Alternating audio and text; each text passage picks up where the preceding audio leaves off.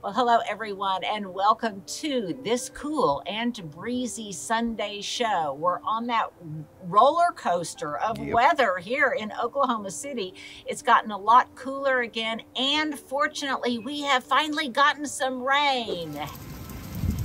Hallelujah! I am loving this. It's knocked some plants down, but that is a small price to pay for this wonderful rain and my plants are as grateful as I am. So today, some of the work that we're going to be doing out in the garden, we are going to finish planting the window box and get that project complete. Check it off of our list. I'm going to share a couple of really valuable gardening hacks. We're going to go inside and I'm going to talk about some Mother's Day gift suggestions. Oh my goodness, just a lot of, of little miscellaneous things. So what do you say? Let's get started.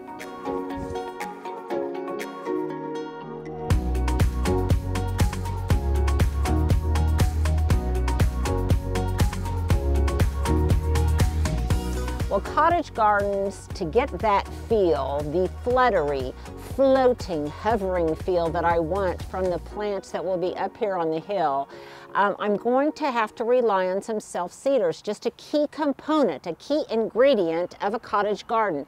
And thankfully, my friend Gail uh, gifted me with all sorts of seeds from her absolutely incredible cottage garden up in Enid. So here is my hack. This is a great gardening hack. But here's also my question of the day. What is your best gardening hack to share with all of us?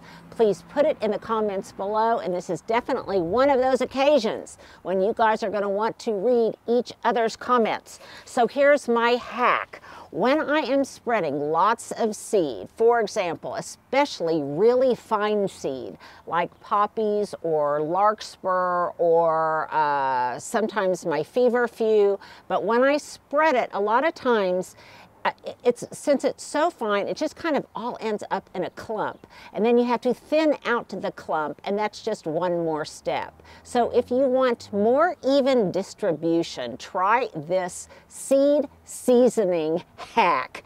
So I will take either, sometimes I'll use a really large plastic bottle that I've had Italian seasoning in or something like that. In this case, I've got a sugar shaker that I uh, in its past life was used for powdered sugar. But in this case, I have filled it, in the past I have filled it with just coarse sand or just play play box sand, any kind of sand. But this time I'm being a little bit more ingenious That's and I'm no sand that this is not sand. This is Eden's Best earthworm castings. So I'm putting some of this earthworm uh, deliciousness inside of this shaker and then I'm going to add my seed. Now I could do this with my seeds individually or I could select which seeds I kind of all want to come up together in a natural, naturalized kind of way, like they might do on a prairie or something. So I'm going to select those. And in my selection, I think I've already told you that I've done this one time before and I'm seeing evidence of those seedlings. So I'm going to put some white coxcomb seed in there. And you can see some of it is spilling out. It's, yeah, it's very fine. It's very fine. So I'm going to put some of that in there because this is going to be a late bloomer. I love the planning aspect. It's really neat. Yeah, yeah, because it's an aesthetic thing in addition to being a practical thing. Let's see, she gifted me some pale yellow hollyhock, but I am not going to broadcast that. For one thing, the seeds are a lot bigger and I might want to grow it in a different area. But I definitely want to grow some cleome, and this is white cleome, white or pink cleome, and either one will be fine fine with me. So you can see here that it's about the size of a larkspur seed. All of this, both of this, the, the, um, uh, the coxcomb and the cleome, the, or I should say maybe celosia, if you're familiar with that term. These are real heat busting plants. They will love the heat and I think that even even though they will be up here on the hill, I think still, unless, unless winds are just really, really extreme, they'll be able to handle the breeze. So I've also got some white hollyhock that I would like to have somewhere, but again, I'm not going to seed it along with these others. Is that because of the size? Because of the size and because of the size of its foliage. It's just a huge plant. These other things are going to be a little bit more delicate. And again, I will probably later on, I will, I will start selecting which which particular plants I want to be in place to get the look that I want. This is that wonderful Verbena bonariensis. I guess this could be my second my second question of the day. Some people love it, some people hate it because it will very riotously go to seed in your garden. But I love how, I love it, but probably not as much as the pollinators love it.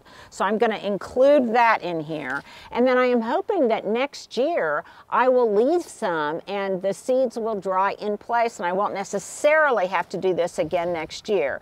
I, and then I've got some more uh, red coxcomb, but again, these are plants that I think I'm gonna reserve, I'm gonna reserve for later. And I think I put my white coxcomb in there. Doing it on some kind of surface is good because it can capture any seeds that go astray. And what I'm gonna do right now is I'm gonna put some more of this worm casting deliciousness on top. And this poop. is and this is this is kind of fine. And we and most of us I think, oops, know the benefits of worm castings, aka worm poop. Okay, so now what I'm gonna do is I'm really gonna shake this up and I've left enough clearance at the top in the bottle so that it will shake and hopefully evenly distribute, or more evenly than I could distribute, all of that wonderful seed throughout my concoction here. I remember my boys doing this sometimes for me when I when they were little. Also seems like you're making a cocktail. Yep, kind of like well, well, yeah. Okay, I Shaken, not stirred. Yes, yes, uh, shaken, not stirred. Absolutely, I like that. Okay, so I did it on a surface so I could take whatever fell off and I could scatter it so as not to waste any seed. I could kind of scatter it in here and I'm gonna save that cardboard for later because it's gonna lead to my second hack. Okay, so where do I want to scatter this seed? I think I did this, maybe did I do this in, a, in another episode, Stuart? But I, I want to si I want to seed some more. So I'm gonna kind of just shake it and actually, I try to shake it from higher up, and I can do that because it's not real windy today. And I'm going to shake this inst and amongst this salvia because I want it to all kind of come up together in that kind of unruly cottage garden fashion. The other reason that I'm doing this is if I seed this and then it rains and then it germinates, some of those germinated seedlings will be inside and or around the, the foliage and the roots of those plants. And if I have to cut them back, then something will grow up in its place while that foliage and that plant is starting its new regrowth. Does that make sense? I think so. I think so. Okay, so look over here. Here's some that I sprinkled that have already started to germinate in here. And so these will, will come up and they will start coming up between some of this fronds of the agapanthus. If there is too much, all I have to do is edit it out to get the look that I want. This is kind of happy kind of weeding. I know it's, it's hard to thin seed sometimes, but in this case, I hope to have such an abundance of them that it won't, that it won't be a, a difficult thing for me to do. Just put some pepper on it. Yes, yes. when I'm loving the ones that I'm already seeing. Okay. You do this to music, I could do this. like just loud samba Shake music or it up, something. Yeah. baby. Oh, now, you shake it up, baby. Okay. So, I apologize for that. No, that was good. Please cover your ears. We should put, we need to put a warning sign at the beginning of this, Stuart. Linda gets goofy. Okay. And I am just gonna, because I think it'll be might watch. beautiful around this candy butterfly. Now again, I could broadcast this and just go like that. But I think that would probably spread them in some cases too densely, and I want this kind of evenly distributed around in here. The other nice thing about this is the plants that are in place. All right, I can walk and follow you, right? Yep. Okay. The plants that are in place, the agapanthus, the salvia, the butterfly bushes, these are also going to support the stems of these emerging plants. Stuart got distracted. Stuart got distracted. These pretty guys. Okay. Yes, aren't they gorgeous? Indigo frost. Indigo frost. So, most of this, oh, look here, Stuart. Here's a happy thing that makes me smile. Okay, let me get over there. I love, look at all of that new foliage coming at the base of this Veronica. And it's also in that beautiful lavender, which is kind of my color palette. So I think this is going to be pretty incredible. And you know what? If not, it's an experiment. It's just an experiment. I can tear it all out if I don't like it. Um, I can revise it for next year. Part of the reason I wanted to start a new garden is so that I would have the luxury of experimentation. Because in the, in the other, at the other house, I didn't have that luxury. I just didn't have the space to be able to do this and reimagine what I, what I kind of wanted in a garden. So I'm going to take a pause for a minute because I want to, I, I want to comment on some of your comments, which were just brilliant. So, and it will, uh, some of these will lead to my next gardening hack. But a number of you said, oh, Linda, you could, you could, why didn't I use flagstone as my pavers? Well, number one, pieces of flagstone are more expensive than these pavers. Secondly, I already had these and I didn't want to spend any more money. Thirdly, I could leave them like this, and initially I am leaving them this light color so I can see and kind of make a mental map in my head of where I've got them placed, and they are not necessarily in their ultimate position. But the other reason um, is so I can see them. Later on, I can paint them if I want. I can dirty them up. I can darken them in some fashion so that they will recede into the garden and it will just look like the rest of the earth and you won't be able to see them. So I can do that, but I'm not going to do it now. Uh, a lot of you are bringing up great ideas of things that I have plans for, but I'm just not quite at that at that stage yet. I'm doing lots of finishing touches here, but not all of them quite yet. Stuart's telling me to get my bangs I'm, I'm you uh, out of my eyes. My ears are cold, and so I've got to keep my ears covered. Okay. So that is that is my first hack. My second hack relates to trying to get over there. Hold on.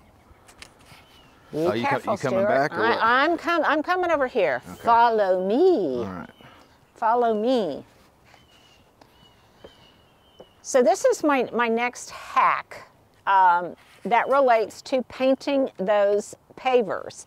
So anything that is too bright white in your garden, I've talked about this before, whether it's a downspout, a utility box, um, almost anything, if it's too light to bright and too contrasting with the organic color palette of your garden, then you can spray paint it. And you can see that this piece of cardboard I have pressed into service to do just that. And I, I'm thinking about this because if you look over here, and none of this has been mulched yet, this is another finishing touch as yet to be completed, but you can see that I finally have my irrigation, my timer box, my outlet in place. Now, would I have liked to have put it in some other location? Yes, but for a number of different reasons, all engineering type reasons, they had to be in this location. Obviously, they can be removed by a new owner or by me, but they're also going to be largely hidden by the topiaries I have in place. To obscure them that much more, to camouflage them even more greatly, I will spray paint them but not right now. I'm not going to do that today. But I can spray paint them later and then that will, and I'll spray paint them approximately a color of the brick so they will just recede into the distance and look as if they are just part of the house's facade. The other idea, I love this, love this, love this, and I believe it was a longtime follower, Edith, who gave me this idea, and I'm, I'm embarrassed that I did not think of it myself. She said, Linda, I am sure those posts that are on your trees to support them against the wind and have to be in place for a while are driving you crazy. and they are, because since this is a new garden, since right now there, there's constantly things out. I've got, you know, all of these tools, things haven't grown up. It looks very cluttery. It looks very piecemeal. It looks very unfinished. And part of that is just the nature of some of the structures that are in place, albeit temporarily, to support and get the rest of this stuff established. So back to Edith's, Edith's suggestion. And if it was you, please uh, take credit for it in the comments below. She said, why don't you spray paint those posts black? So I have started that process. You can see over I here. didn't even notice. You didn't even, well, it's because they receded so yeah. much into the background. And so I can do this. No close-ups on this one. On a day, yeah, no close-ups on this one. But on a day when it's not windy, Unlike today. unlike today, well, it's just, it's not really windy, it's just a little breezy. It's hilarious. I'm sure there'd be people that would consider this very windy. So you can, us. and it just fades into the background. Now you can still see them, but they're not nearly so prominent. The other thing that I'm going to spray paint, and I've gone back and forth on it, is should I spray paint the base of this bird bath or not, and I think I probably will. I'm going to be deciding on that, and I can do the same thing, just put a piece of cardboard back. There's not a lot of overspray or anything to hurt the plants, and I think it'll be fine. So I might even get Hubs to help me with this, to go around and spray paint all of the things that I just want to go away. Um, I have decided that I really don't like this as a planter here. I am going to put just a bird bath bowl in here, but I have yet to do that while this is looking kind of scruffy. I am happy, however, to see that I brought a, an eastern redbud that volunteered in here from the other house, so I'll be planting that somewhere. Um, so that's so that is that. Someone also asked me um, will the birds eat my blueberries? And they might eat some of them, and that's fine with me. They might eat all of them. Maybe that's not so fine, but I can protect them in some in some ways, and I'll, I'll show you in another in another video how I can protect them from the birds, um, or if I just like the way that, that they look. I don't know. That remains to be seen. Nothing is ever complete around here. Yep. Kind of beautiful, actually. It is kind of beautiful. Okay, so I think we need to take a break here, Stuart. I need a drink of water. You guys get your cup of tea, your cup of coffee, uh, your beverage of choice, and I'll meet you back here to finish the window box.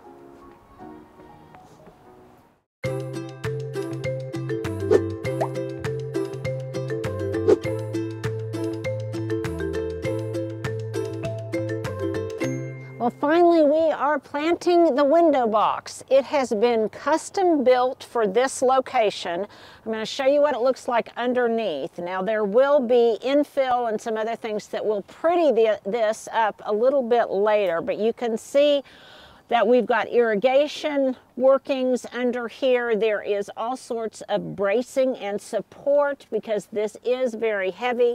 This side has this framed out on the east side and on the west side it sits on a platform um, on the porch. Then we had a metal liner made for it. And if you want to go back and you want to revisit how all of this was done, it's in previous episodes.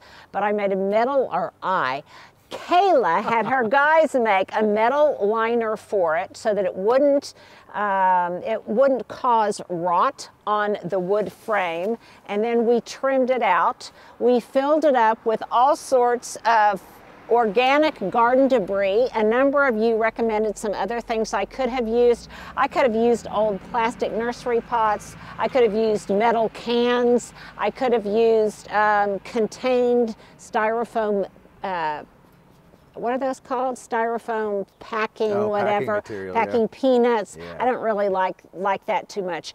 But all of really all I did was put a little bit of gravel, a lot of organic debris that will break down over time, leave me clearance at the surface to top dress if I need to.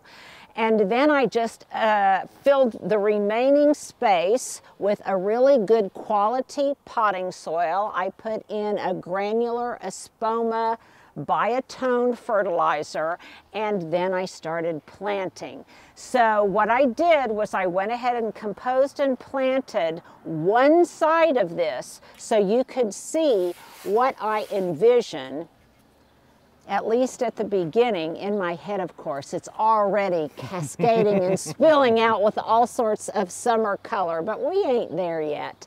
Um, so this is the east side. So my first ingredient in this window box planting is some chef's choice rosemary. It is so fragrant. I love the textural quality that it gives to the entire ensemble and I just love the fragrance of it.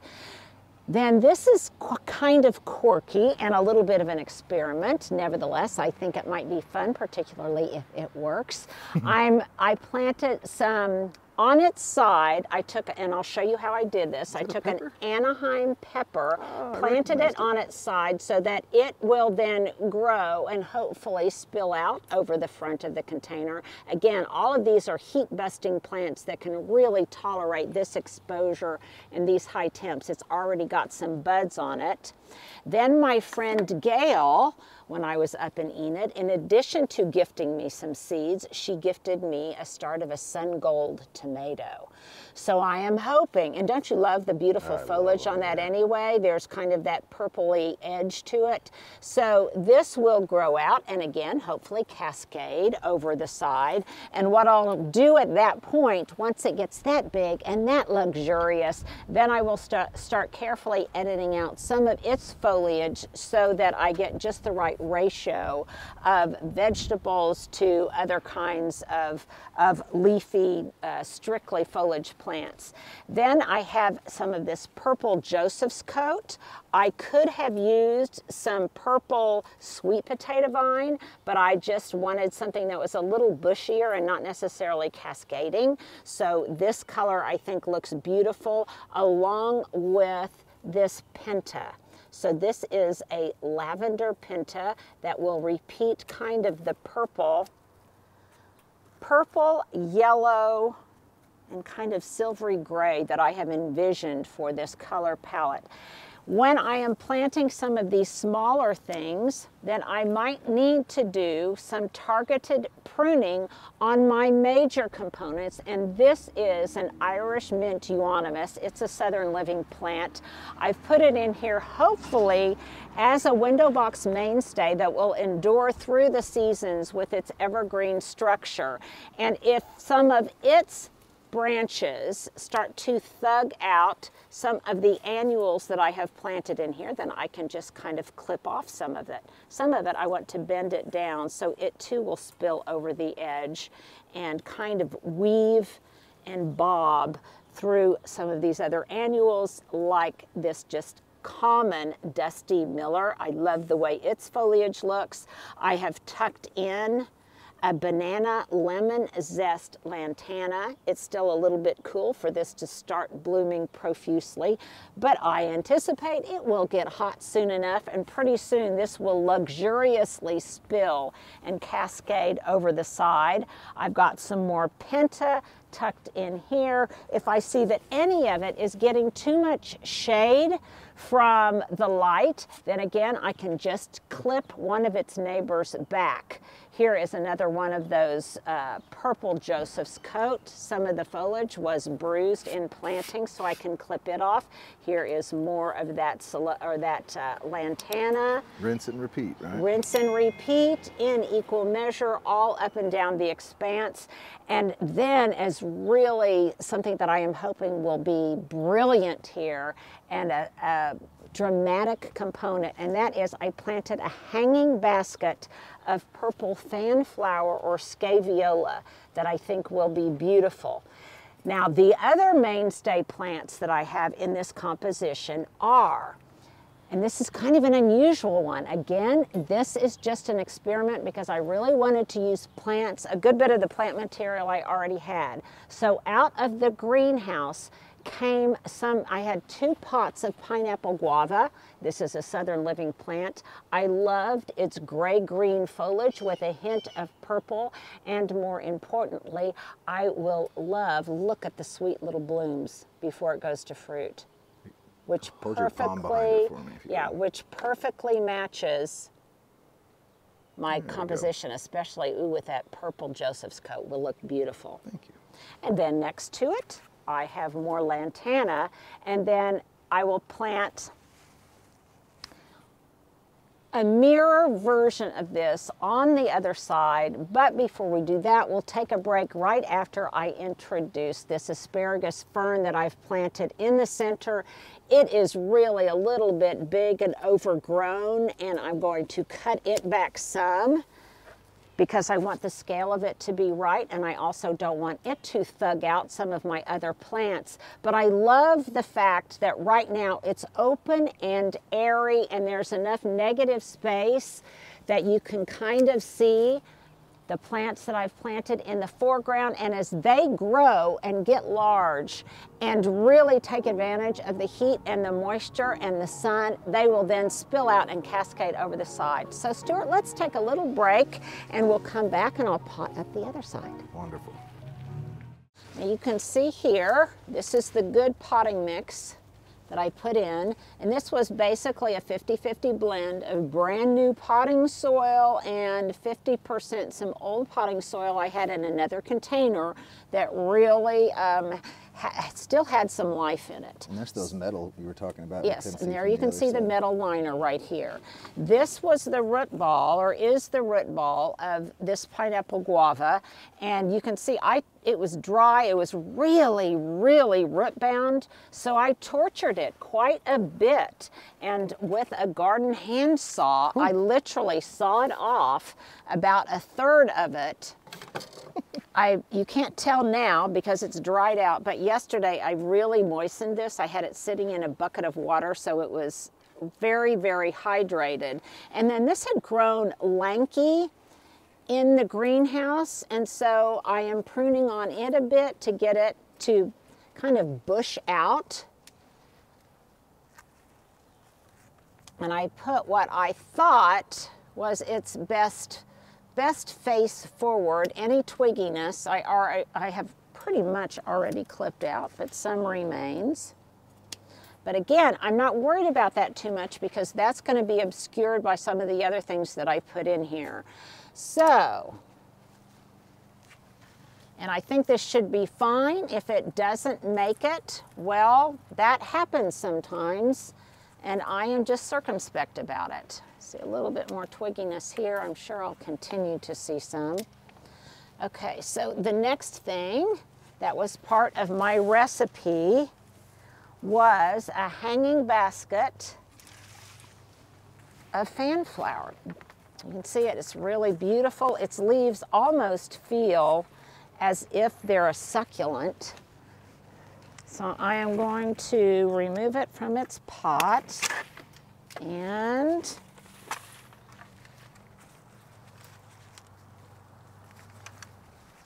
And this is a good trick. If you want something that really is already very grown, give it a good spanking. that already looks mature, then use a hanging basket because look there. It fits in there perfectly and it already gives the illusion Instant. Of cascading down the side. So what else do I need to put in? Oh, Stuart, I'll be right back because I forgot. I forgot my rosemary. Right. So do you think you can keep everybody company? Well, I mean, where is it? 'Cause we're gonna watch you go get it. It's over here. Victor, say hello. you guys all know Victor. He's here today helping me spread mulch. I spread a good bit of it this weekend myself. Um, but my back can only handle so much. And I only have so much time in the day. So I continue to get help as this develops. Okay, so I'm going to remove this from its pot. And this is the, the advantage of having, I'm going to loosen up its root ball, but the advantage of having such a large container is it will not dry out real quickly. I can basically create the effect of a small garden in a window box, but I also then have the luxury of using pretty large plants, like a large hanging basket. At the old house, you would bang those on the wall when you I, needed yes, to get it. Where yes, are you but I'm not. here? I'm not going to bang here. I've already kind of loosened it up, and Well, I but don't. when you need to bang but when you plant, yes, if you you have if you have a, a surface that you can bang it against, then by all means you go for it. That was the tip at the old house. That was the tip at the old house. I'm going to put that at a little bit higher level. Oh, that smells yummy, Stuart. That really smells yummy. I'm going to go get another one now. Trying to decide. Yes, I think I'll get another one.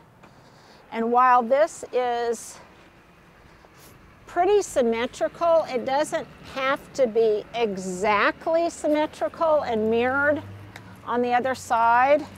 I can kind of create the illusion of that without too much difficulty. And I love that this root ball is loose. You can see that I've watered this recently.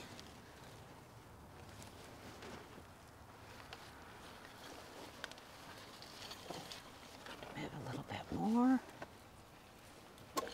There. I better move my tools or they're going to end up in the planter box. Planted in the planter box. Be careful, a woman with a tool. Linda with a tool. with a sharp tool. Okay, so now I'm going to take some of this and fill in those holes over there. And then when I'm finished, I will really, I will water this completely, really well. Let what dirt is in here settle, and then I'll come back and probably add some more top dressing of new potting soil. So, because I don't want any air pockets in there. Don't want any air pockets.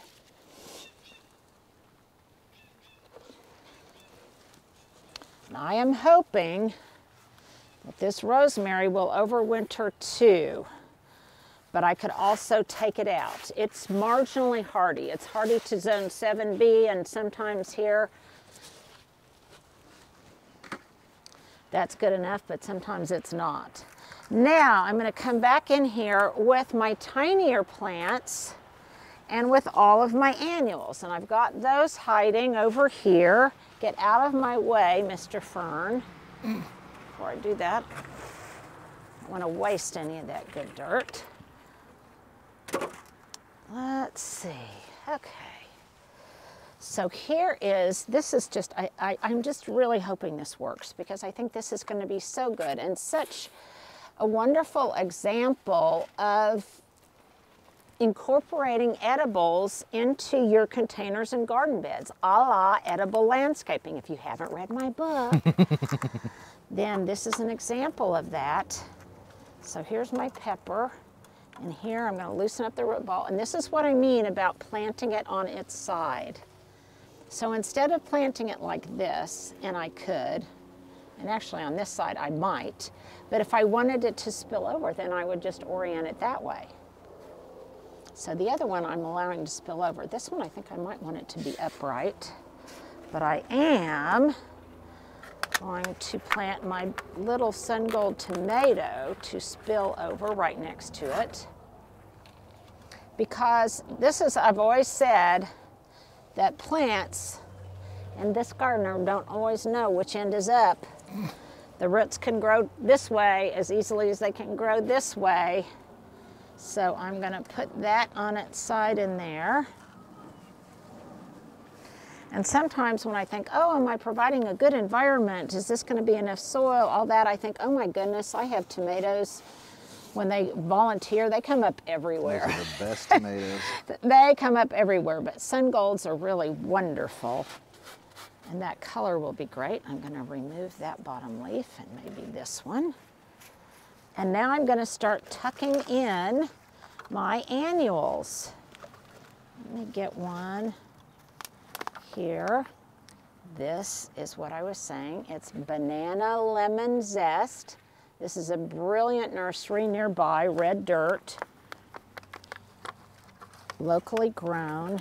This, by the way, this is back to basics kind of stuff. This is the kind of loose root ball you want when you are planting because it will just be, I'm going to tuck it in in the back and let it grow forward, up and forward. Because those are the kind of roots that are going to be so enthusiastic about growing in your garden.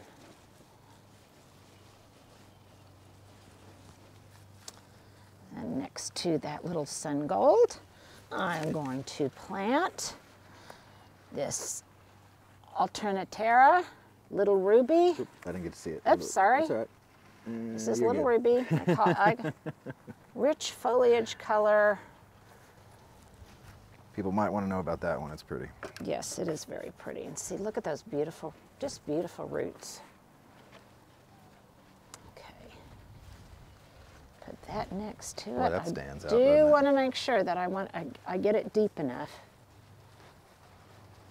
And all of this will just kind of grow together and weave in this beautiful textural harmony. Or at least that's what it's doing in my head, Wait, Stuart. I, I, I didn't. I, I don't understand. Could you show me the hand gesture again? like this, like that. It's that's the Linda dance right you there. guys think it's me that's always gives Stuart a hard time, but I mean, he gives as good as he takes. I'm going to tuck that in there. I'm always amazed how like those hand gestures actually get us as humans to understand what people are talking yeah, about. Yeah, that's true. it actually That's works. true. Makes well, no sense. when there's a language barrier, sometimes you just have to go with it. oh man. Well, it looks like I'm missing one component. Do I spy? Do I spy it over there? All right, let's see if they can spot it. What is it you're looking for? What is my missing component? you don't even know? It, it I, I know. I was about to say, Let's what see, is it? Does everybody else know? Oh, oh, they can because we have the, the Dusty Miller. There it is. It's the Dusty Miller. Let me see if I can find it over here. I swear I knew a Dusty Miller in my life. Well,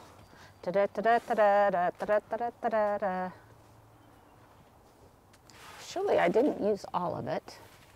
If I did, I'll just have to get a little bit more and add it later. So see, don't worry, you don't have to be perfect because gosh knows, I have no expectations of perfections myself, perfection myself. the right okay, way to so be. I'm gonna put more lantana in. Healthy way to be. Right now, there is just there is just so much going on and so many things out of place. And I am trying to. I will probably tuck those tags in here somewhere let me see what else. I deliberated whether or not, and I'm not sure I want to do it, but maybe I do. Um, okay, Stuart, you know what we're going to do? We're going to recast this. Okay, so while you were away, I added my missing component, which was this evergreen, important for evergreen structure on this side of another Irish mint euonymus. I like that name too. And now I am just adding the other missing components. I did, I added the scaevola back in there. I was afraid you guys would get bored just watching me redo the same stuff. So I put that back in there.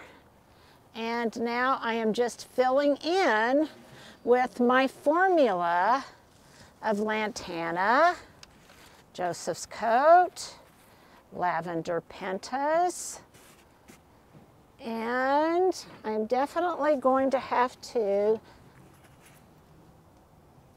what I'm loving, Stuart, um, is that what I'm going to have to is just wait for a bit for this stuff to start looking a little bit better. It looks kind of rangy right now, but I feel confident that it will because we've got cool temperatures here for a while.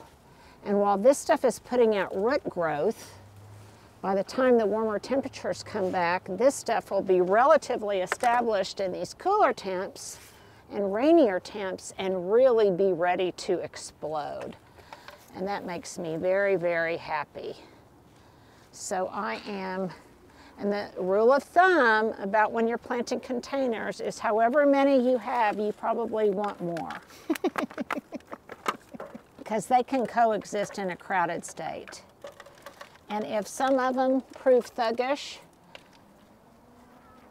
and thug out the others, well, then it may be that something I could have controlled by cutting back the one, or I might just let it thug it out because what ultimately ends up happening might be superior to what I had planned in my head. Plants are such thugs. Some of them can be. Some of them can be. Okay. So Stuart, Yeah. I'm going to stand back and I'm going to look at this. Okay, I want you. I want you to snap me back there. We're both gonna go back. Okay, one, two, three. Stuart, it's hard to snap. Hey, the magic was still it's- there. It's hard to snap with your cool job gloves on. Let me just tell you, and I do love these gloves, guys. They're still my very favorite. Um, so it looks a little bit scruffy now, but usually it does before things don't completely fill in.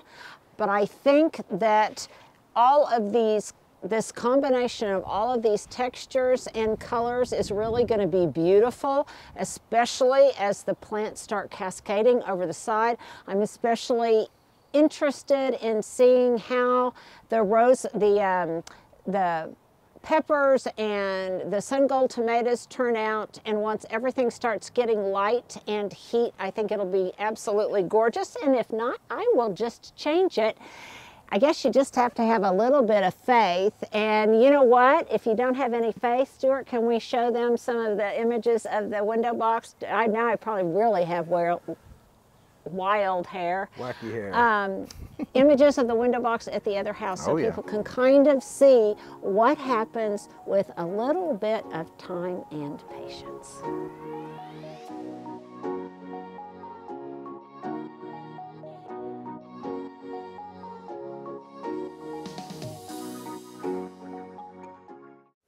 Well, I am back inside the cottage, a little bit windblown, but nevertheless feeling a little bit self satisfied because I finally got the window box planted. It can start growing in situ.